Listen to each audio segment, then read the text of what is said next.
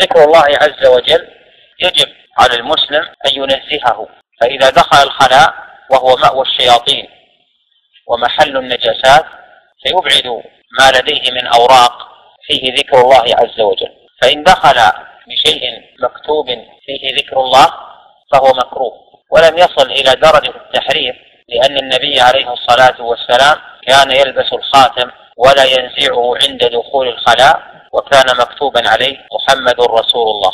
ويجوز الدخول به عند الحاجة كالبلوى التي ابتلي بها الناس في الأوراق النقدية.